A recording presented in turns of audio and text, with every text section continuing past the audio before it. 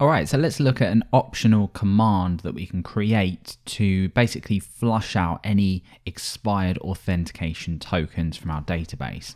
Obviously, if users are requesting these tokens but then actually not using them, we may want to just flush them out. So we're going to create a console command for this. So we can do this on the command line. So we're going to say php artisan make command, and we're just going to call this clear expired user login tokens and we can go ahead and start to implement this. So over in app console under commands, let's go ahead and give this a name, a description, and then go ahead and fill it in. So we're going to call this auth, uh, or it's at least going to be under the auth namespace, and we're going to call this clear tokens, and we can just give this a description, and we'll just say flush expired authentication tokens.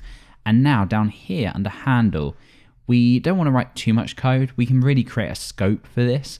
So if we just pull in our app user login token namespace at the top, what we ideally want to do is something like user login token expired and then just call the delete method just to get rid of them.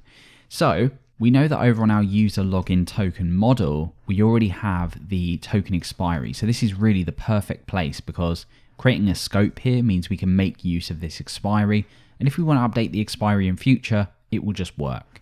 So let's create this uh, scope then. So it's going to be scope expired, and into this, obviously, we receive our query builder, and we just want to return query where the created at date of that particular token is less than carbon now. So pretty similar to what we did with the is expired method, but obviously now we are uh, doing this within a where clause. But obviously this just doesn't work because what we need to do is take away the expiry. So we need to do a sub seconds on self token expiry.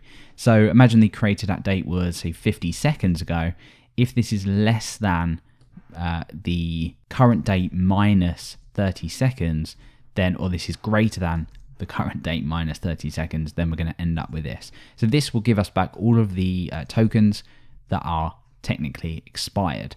So now this will just work. So we can go ahead and run this after we attach it in our console. So under commands, let's go ahead and add this in now. So this is app console commands and it's clear expired user login tokens and we can just pull the full class name in. So now if we go ahead and we run PHP Artisan, we have under auth, hopefully, there we go. So we've got clear tokens, so auth clear tokens. So PHP Artisan auth clear tokens, and there we go. Now, obviously we don't have any tokens at the moment, but we can very easily test this. To test this, I'm just literally going to reduce the token expiry so we don't have to wait around for too long. And let's go ahead and initiate the login link, go over to the database, give that a refresh. That's sat in there. We can basically just wait now 10 seconds and we can go ahead and run this command. So let's go ahead and set this up ready to go. That should have been about 10 seconds. So if I go ahead and run this, that should have deleted that just there. Great. Now we can obviously test this out by requesting one and then going ahead and immediately running this, which shouldn't have deleted that token.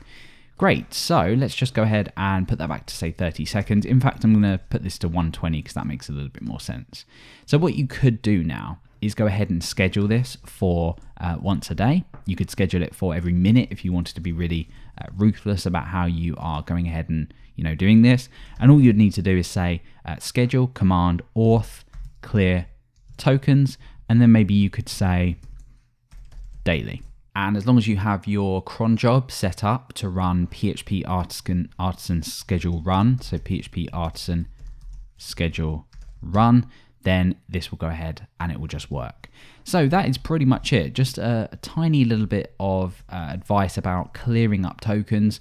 You obviously don't need to do this, but it may make sense in some circumstances if you find this table getting full with tokens that really uh, just aren't going to be used anymore because obviously we have that expiry in place anyway. No one's going to be able to use them, so we might as well just flush them out. So there we go. That is pretty much it. How to clear our expired tokens uh, with a artisan console command.